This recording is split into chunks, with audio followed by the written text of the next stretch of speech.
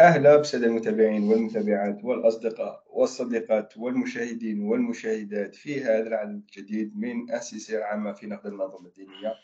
هذا العدد راح يكون حلقة 139 من السلسلة العامة راح تكون حلقة 72 من سلسلة التاريخانية النص الثاني اللي هو الحديث النبوي. وراح نكملوا مع محور آه، حركة الترجمة وتفكيك آه، وهم الحضارة الإسلامية. حنديروا حلقة ثالثة. سعيد من دون إطالة لك الكلمة واسمح لي راح نكون شوية محبح اليوم. معلش أهلا بك فتحي ونرحب بالأصدقاء المتابعين. آه، قبل ما قبل أن نواصل سرد النصوص المتعلقة بهذا المحور والأدلة النصية المتعلقة بهذا المحور آه، حبيت نذكر بعض النقاط المكملة للكلام اللي قلناه في الحلقة الماضية. آه، النقطة الأولى هي أنه آه، على عكس ربما ما يتبادر لأذهان الكثيرين يعني الذي كان يؤثر الذي كان يؤثر آه، وعي العامة عبر التاريخ ليس ليس الفلاسفة والعلماء علماء الفيزياء والطب والرياضيات والكيمياء وهكذا. لا مش هذوك. الذين كانوا يؤطرون وعي العامة والأغلبية الساحقة عبر التاريخ هم الفقهاء ورجال الدين. هذوما الذين كانوا يؤطرون وعي العامة. ولذلك آه، ولهذا نجد أن أن العلماء ورجال الرياضيات رجال الفيزياء والطب والفلسفة والهندسة آه، والكيمياء هذه العلوم كلها أصحابها كانوا مهمشين. وكان الناس ينظرون إليهم على أنهم كأنهم أمراض معدية يعني لا يقتربون منهم. هذا إذا لم يقتلوهم إذا لم يضطهدوهم ولم يطاردوهم ولم يقتلوا لأن أغلبهم كانوا مشردين مطاردين مسجونين. بعضهم كثير منهم قتلوا. كان بعضهم حدث نفيهم لأراض غير أوطانهم. أحرقت كتبهم. مكتباتهم مكتبة ابن رشد أحرقت. مكتبة ابن حزم أحرقت. مكتبة التوحيد العديد من من هؤلاء العلماء أحرقت كتبهم. لأن لماذا؟ لأن الفقهاء كانوا يفتون بأن هؤلاء هم أئمة إلحاد وزندقة وضلال وكتبهم كتب ضلال. لذلك كانت تحرق كتبهم وكانوا يضطهدون. إذن هذه هذه النقطة الأولى. النقطة الثانية هي أن الإسلام عندما جاء كان وبدأت ما يسمى ما تسمى أو ما يسمى بالفتوحات الإسلامية المناطق التي وصلتها الفتوحات كانت فيها حضارات كانت فيها حضارات سواء في مصر أو في بلاد الفرس أو في الهند أو أو بلاد المناطق الخاضعة لبيزنطة في ذاك الوقت أو للروم أو شمال أفريقيا. آه، كل هذه المناطق كانت فيها حضارات قائمة آه، آه، ومتمكنة يعني ولامعة. ولكن بعض آثار تلك الحضارات زالت ولم نعد نجدها اليوم. لماذا؟ بسبب سبب هو حرق المكتبات. السبب هو حرق المكتبات. الحريق أو عملية حرق الكتب والمكتبات هذه سنأتي إليها في النصوص بالتفصيل. ولكن نذكر هنا على الماشي يعني على السريع أنه مثلا مكتبة الإسكندرية أحرقت بتوجيه من الخليفة الثاني. آه، مكتبة آه، القسطنطينية آه، أيضا أحرقت. العديد من من المكتبات التي كانت كانت قائمة في ذلك الوقت يعني أحرقت. هناك مكتبات أيضا في شمال أفريقيا أيضا أيضا أحرقت. لذلك لا نجد اليوم المخطوطات المرتبطة بآثار مثلا حضارة في شمال أفريقيا قبل الفتح الإسلامي قبل مرحلة ما يسمى الفتح الإسلامي. النقطة الثالثة آه، هو أن العلوم الدينية العلوم الدينية آه، حتى ما يسمى يعني العلوم الدينية يعني أو الشرعية اللي هي الفقه وأصول الفقه آه، وعلم الكلام وعلوم اللغة. هذه كلها بنيت على الفلسفة اليونانية. يعني بنيت على الأقيسة أو القياس. ما ما يعرف بالقياس لا ديدكسيون وهذه وهذه قائمة على الفلسفة اليونانية. من جهة. من جهة ثانية نجد ان أن العلماء مثلا الفيلسوف أو الفيلسوف أو الطبيب الفيلسوف أو الطبيب أو الفيزيائي أو الكيميائي هؤلاء عندما عندما يكتبون لا ينطلقون من النص الديني. صحيح. لا هذه بعض الناس لأن هناك من لا يعرف هذا أو لا لا يدرك لأن هذه أمور عند الأغلبية غامضة هذه الأشياء. كاين الناس يظنوا باللي ابن سينا استنتج الفلسفة تاعو من القرآن أو من الأحاديث الصحيحة أو ربما استنتج الطب. لا لا هناك ناس يظنوا هكذا. لأنه لأن الأغلبية تعتقد أن النصوص الدينية فيها كل العلوم. هذا اعتقاد شائع. عند المسلمين. أن النص الديني يحتوي كل كل العلوم. على أساس ينطلقون من الآية التي تقول ما فرطنا في الكتاب من شيء رغم أن الآية تقصد الجانب الدين فقط ولا تقصد الفيزياء والكيمياء والعلوم البحتة وعلم الفضاء والرياضيات لا تقصد العلوم البشرية تقصد الأمور الشرعية الدينية فقط أمر الدين. ما فرطنا في الكتاب من شيء في أمر الدين. وليس خارج الدين. وهذه كما يقولوا وهذه كما يقولوا حاجة باينة. كيفاش نتايا؟ مثلا نديو الطب. آه كي تشوف الطب نتايا تقرأ سبع سنين وبعد تزيد خمس سنين وبعد حيت الكمبيوتر تقرأ.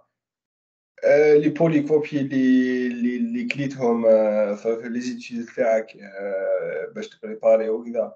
هادو كاع ما كاش كيفاش تقول لي بلي راهم في 600 صفاحي 600 صفاحي هما عدد الصفحات تاع تاع تاع تاع, تاع المصحف اليوم. أه تقول لي مكوديا ماشي مكوديا ما كاش إذا فرضنا بأنه المعرفة لا نهائية مستحيل تحط لي معرفة لا نهائية داخل كتاب خلاص. يعني كما يقولوا عنده عنده عدد من الصفحات أه منتهي.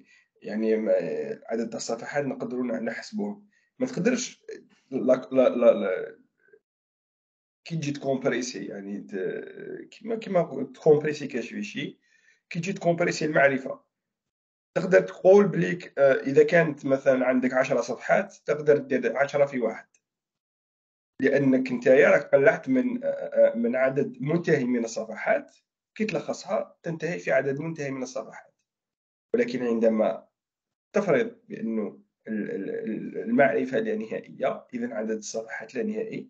مستحيل تلخص اللانهائي في في عدد صفحات منتهي. وهذا هو وهذا هو وهذا ماشي غير أجل ماشي غير المصحف ولا ماش نهضروا على القرآن ولا ولا ولا الكتب الدينية. هذه حاجة كما يقولوا تنطبق على أي كتاب. ما كاش كتاب يقدر يلخص المعرفة التي هي لا نهائية في عدد صفحات منتهي. تماما. وبالتالي لما نتكلم مثلا على ابن سينا أو البيروني أو الفارابي أو الكندي أو ابن رشد أو الزهراوي أو ابن النفيس أو أبو أبو حيان التوحيدي أو أبو بكر الرازي أو جابر بن حيان أو ثابت بن قرة أو غيرهم من الأساطين هذوك العلماء والفطاحل وعمر الخيام وكل من تشاء من من هذو وهم كثيرون يعني هذو. لم يكونوا لم يأخذوا علومهم من القرآن ولا من الأحاديث بل أخذوها من كتب اليونان. أخذوها من الكتب المترجمة كتب السريان التي ترجمت كتب اليونان التي ترجمت كتب الفرس التي ترجمت كتب الهند التي ترجمت. أخذوها علومهم من الكتب المترجمة وأضافوا بالتجارب بتاعهم واجتهادهم أضافوا إليها وذهبوا بعيدا بعضهم الخوارزمي وذهبوا أبعد طوروا لكنهم انطلقوا من من الترجمات. من الكتب المترجمة يعني كتب الحضارات التي كانت قائمة في ذلك الوقت وترجمت إلى العربية في زمن العصر العباسي. إذا حتى باش حتى لا ما نغلطوش يعني حتى تكون أمور تكون واضحة. آه إذا النص الديني لا ينتج العلوم البحتة أبدا. النص الديني ينتج العلم الشرعي فقط ينتج العلم الديني المرتبط بالدين. آه النقطة الأخرى النقطة الأخرى هذه طبعا من ما لا نكرر ما قلناه أن الفقهاء رفضوا العلوم غير الشرعية وسموها العلوم الدخيلة وقالوا أنها لا تنفع. قالوا أنها لا تنفع. مشهورة هذا البيت الذي ينسب إلى الشافعي العلم ما قال العلم قال العلم قال العلم ما كان فيه قال حدثنا. وما سواه وما سواه يعني معنى أنه كلام شياطين المعنى يعني العلم ما كان فيه قال حدثنا. يعني العلوم كلها ترتبط بالإسناد علوم الإسناد يعني العلوم الحديث آه، سواء روايات القرآن القرآنية أو الروايات الحديثية. هذا هو. آه، هذا هو. أنا ذكرت البيت. العلم ما كان فيه قال حدثنا. وما سوى ذلك وسواس الشياطين. اذا ما كانش علم عند الفقهاء ما كانش علم خارج العلم. العلوم الشرعية لا يوجد علم. الباقي يسموها أباطيل. وبعد نشوفوا الذهبي. شوفوا الذهبي في سير اعلام النبلاء يقول لك الضلالات الأباطيل العلوم الدخيلة يقول لك ضلالات الأولين. ضلالات ضلالات الأولين. المهم اذا هذه ما كانتش كانت مرفوضة تماما ومحرمه من بعد نشوفوا كلام ابن تيمية لما حرم الكيمياء. آه، وغير وغير ذلك. اذا نقطة أخرى نقطة أخرى أيضا سندعمها بالنصوص وهي مسألة لما نقول حضارة إسلامية. لما نقول حضارة إسلامية عن أي إسلام نتحدث؟ هل هي الشيعية الحضارة الإسلامية الشيعية الحضارة الإسلامية السنية الحضارة الإسلامية المعتزلية الخوارجية الإباضية؟ هل هي القرمطية الإسماعيلية الدرزية؟ هل هي حضارة إمارة مملكة برغواطة الحضارة البرغواطية اللي كان عندها قرآن خاص بها كتبت مصحفا بالأمازيغية؟ بعد نتكلموا عليه. هل هي هل هي الحضارة الإسلامية تاع القرامطة الذين أيضا كتبوا قرآنا خاصا بهم. كتبوه. القرآن القرمطي معروف. هذا مذكور في المصادر بعد نذكروه. إذا حضارة من إسلامية بأي معنى؟ لأنه الجماعة الإسلامية الأولى في المدينة وقع لها انفجار وتشظي بعد وفاة الرسول كما شرحنا ذلك بالتفصيل. لا شرحنا في هذه شرحنا ما نرجعوش للتفاصيل. إذا هذا التشظي كما قلنا انعكس على كل التاريخ. 14 قرن من بعد. كل كل التفرقة والصراعات المذهبية والفقهية والفكرية والسياسية التي حدثت بعد بعد ذلك كلها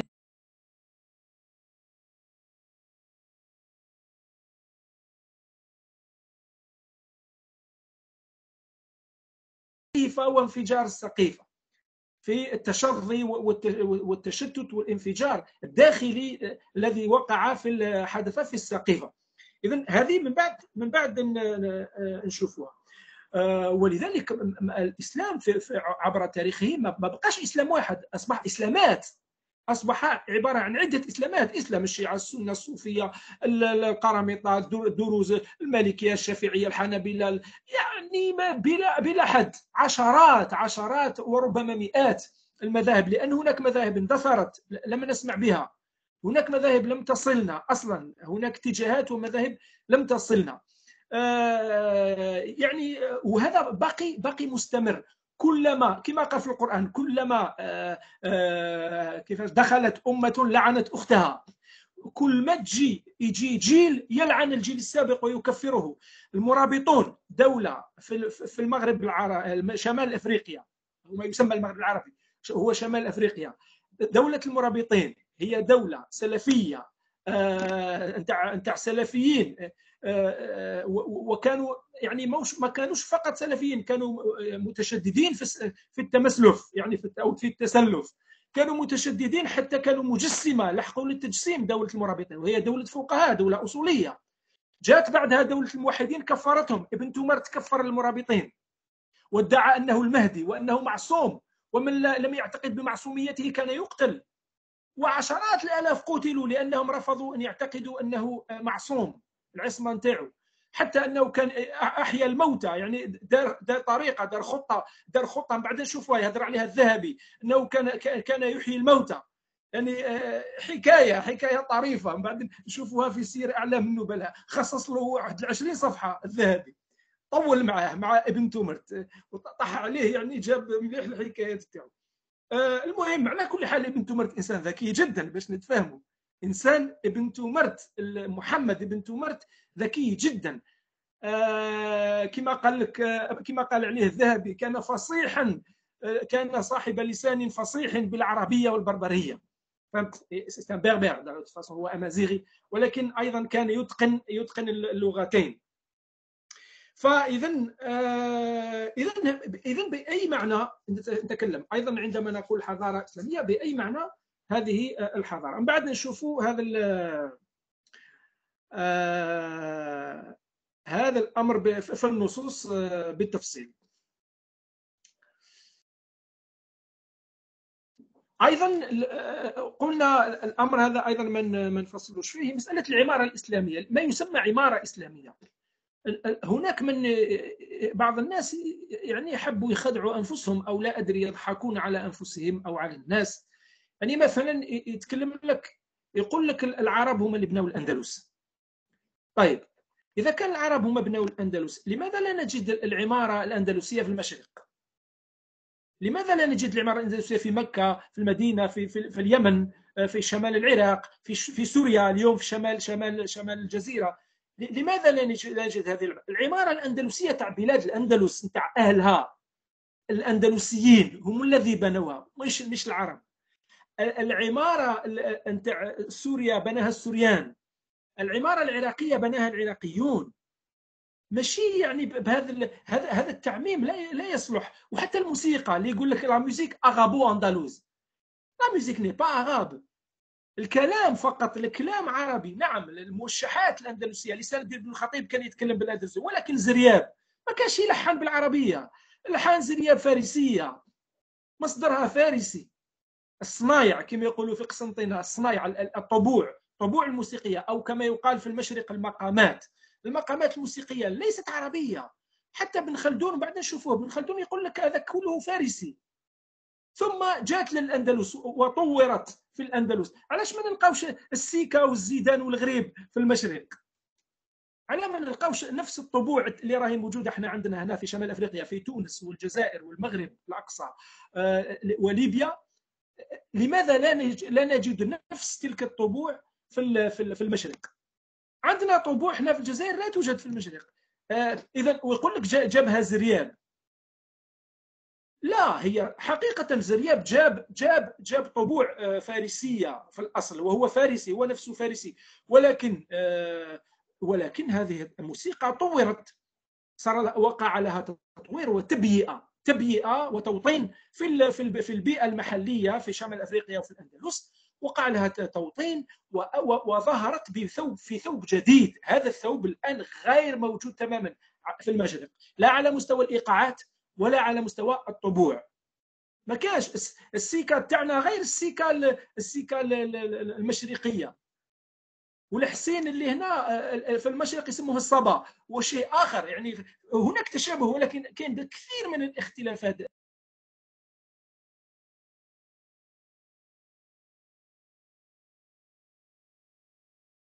هي ليست هي الموشحات أو ما يسمى القدود التي آه، مثلا تغنى في في في القاهرة أو في أو في أو في دمشق أو في بغداد مثلا. ماشي نفسها. ليست شيء مختلف الإيقاعات تختلف الكلام يختلف آه، أشياء كثيرة تختلف. اذا اذا لا يمكن أن ننسب هذه الأشياء. العمارة في النهاية ما هي؟ العمارة هي عمارة محلية وهي خليط كما قلنا المهندسين اللي كانوا يبنوا مش العرب.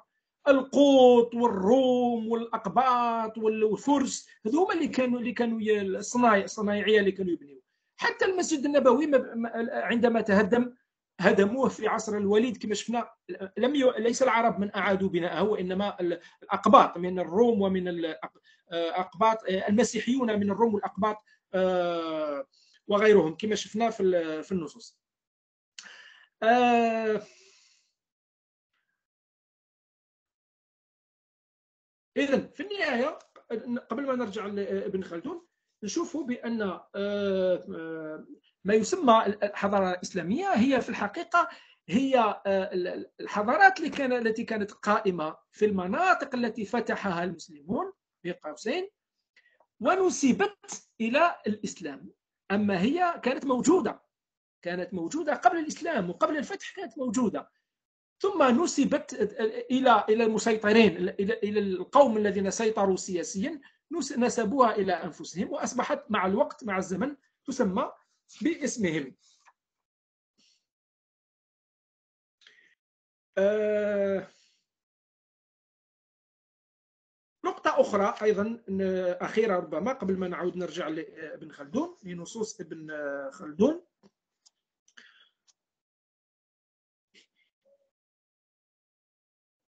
وهي أنه نشوفوا مثلا العصر العباسي. العصر العباسي. الترجمة بعد نتكلم عليها بالتفصيل في الحلقات المقبلة. آه، العصر العباسي الترجمة آه، يعني كانت ما كانتش تعبر عن قرار ديني كانت تعبر الترجمة قرار سياسي. لأن العلوم التي التي ترجمت لم يرضى عنها الفقهاء رفضوها وسموها العلوم الداخلة بل أغلب أغلبهم حرمها. إذا القرار تقول لي المأمون كان كان مجتهد. وصحيح المأمون كان فقيه وفيلسوف ومجتهد كان كان موسوعة علمية كان علامة المأمون. معروف هذا الشيء. ولكن المأمون قبل كل شيء هو خليفة ورجل سياسي. المأمون قبل ما يكون آه، مثقف آه، من طراز العالي والرفيع هو سياسي هو خليفة خليفة المسلمين. والدليل أنه كان يتصرف كسياسي على الكرسي قتل أخاه الأمين. قتل أخوه الأمين. آه، بسبب السياسة بسبب السلطة. لما أخوه حب ينافسه في الكرسي قتله. وقتل ما قتلش غير خوه يعني قتل الكثيرين وليس هو فقط. اذا اذا المأمون بقرار سياسي. والمأمون الذي أمر بالترجمة بترجمة العلوم وتأسيس دار الحكمة مكتبة دار الحكمة والى آخره.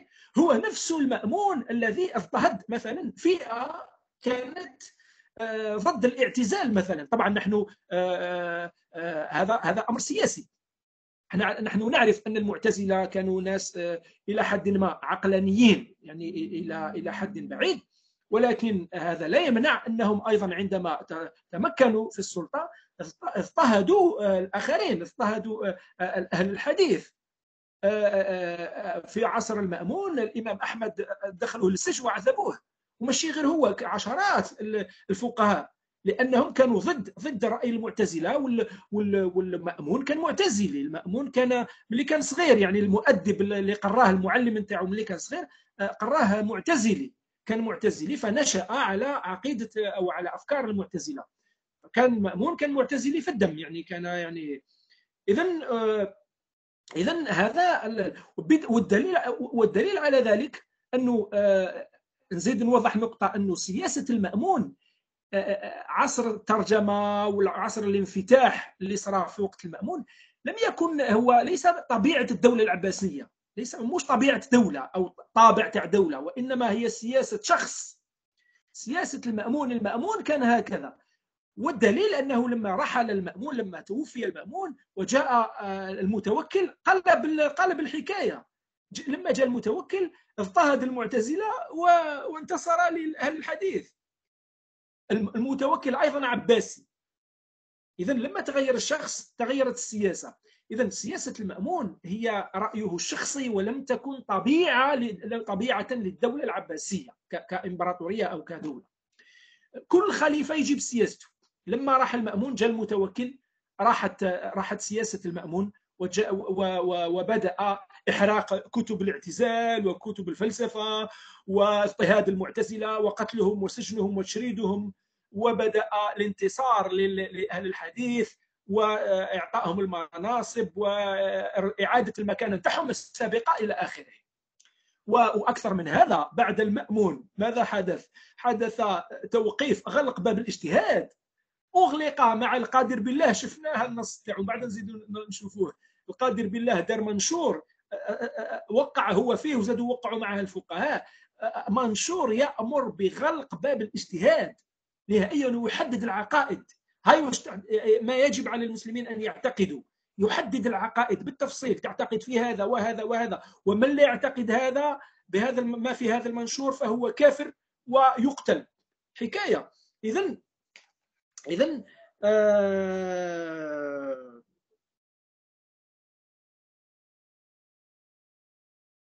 اذا هنا نشوفوا بأن آه، آه، نشوفوا بأن بأن شوف بأن هذه هذه السياسة لم تكن طبيعة الدولة العباسية وإنما كانت هي سياسة أشخاص هي رأي أشخاص لما يتغير الشخص تتغير السياسة. اذا الآن الآن نعود نعود إلى كلام ابن خلدون في المقدمة. كما قلنا هذه الطبعة اللي عندي هي الطبعة الجزائرية. آه، طبعة لوسيان بي آش يعني المركز الوطني لدراسات آه، للبحث في عصور ما قبل التاريخ وعلم الإنسان والتاريخ. الجزائر 2006 الجزء آه، الثاني بتحقيق وتقديم وتعليم.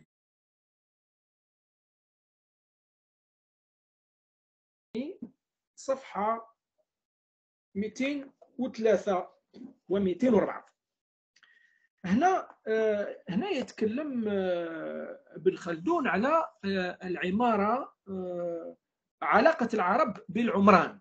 علاقة العرب يقول فصل في أن المباني التي تختطها العرب يسرع إليها الخراب إلا في الأقل. قال لك والسبب في ذلك شأن البداوة والبعد والبعد عن عن الصنائع كما قدمناه. فلا تكون المباني وثيقة في تشييدها. وله والله أعلم وجه آخر وهو أمس به. وذلك قلة مراعاتهم لحسن الاختيار في اختطاط المدن. قال لك حتى العرب كيديروا البلون تاع مدينة ما يديروش مليح. قلة مراعاتهم لحسن الاختيار في اختطاط المدن. كما قلناه من المكان وطيب الهواء والمياه والمزارع والمراعي. فإن بالتفاوت في هذه تتفاوت جودة المصري أو رداءته. المصر يعني البلدة المصر المدينة المكان. المصر أو رداءته من حيث العمران الطبيعي. والعرب بمعزل عن هذا وإنما يراعون مراعي اسمع مليح والعرب إنما يراعون مراعي إبلهم خاصة. لا يبالون بالماء طاب أم خبث ولا قل أم كثر ولا يسألون عن زكي المزارع والمنابت والأهوية لانتقالهم في الأرض ونقلهم ونقلهم الحبوب من البلد البعيد. وأما الرياح فالقفز مختلف للمهاب كلها والظعن كفيل لهم بطيبها لأن الرياح إنما تخبث مع القرار والسكنى وكثرة الفضلات. أه وانظر لما اختطت شوف يقول لك وانظر لما اختطت اختطوا الكوفة والبصرة والقيروان كيف لم يراعوا في اختطاطها إلا مراعي إبلهم. يعني قال لك عندما بانوا أمروا ببناء الكوفة والبصرة والقيروان قال لك راعوا راعوا فيها مراعي إبلهم وما يقرب من القفر ومسالك الظعن فكانت بعيدة بعيدة عن الوضع الطبيعي للمدن ولم تكن لها مادة تمد عمرانها من بعدهم. كما قدمنا أنه يحتاج إليه في حفظ العمران.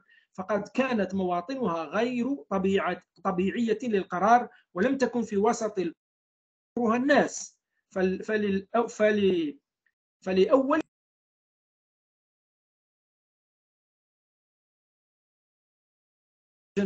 لها أتى عليها الخراب والإنحلال كأن كأن لم تكن.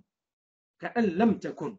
إذا هذا كلام ابن خلدون بالنسبة لهذا الجانب okay سعيد parce que إذا مازال تزيد تقول حاجة على ابن خلدون عندنا شوية وقت sinon نحبسوا الحلقة. هنا ما لحقنا نهاية الحلقة سعيد. خلاص نتوقفوا. مازال كلام ابن خلدون اذا نتوقفوا هنا ونديروا فصل جديد في المرحله نكملوا في الحلقة نكملوا في الحلقة المقبلة. أوكي. آه شكرا لك سعيد شكرا ساده المتابعين والمتابعات والى الحلقة المقبلة. صحيح. دقيقة نرد على التليفون.